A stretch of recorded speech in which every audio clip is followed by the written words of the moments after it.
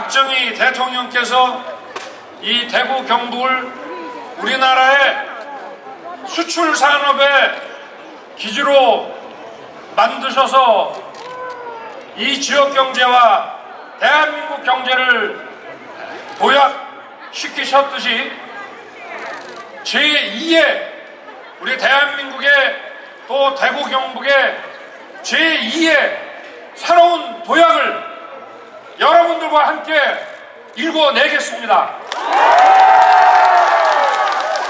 제가 어려울 때마다 대구에 오면 늘 따뜻하게 저를 품어주셨고 또 제게 용기와 자신감을 불어넣어 주셨습니다.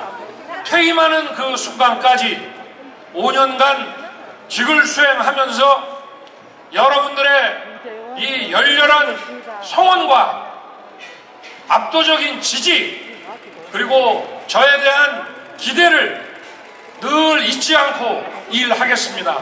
고맙습니다 여러분.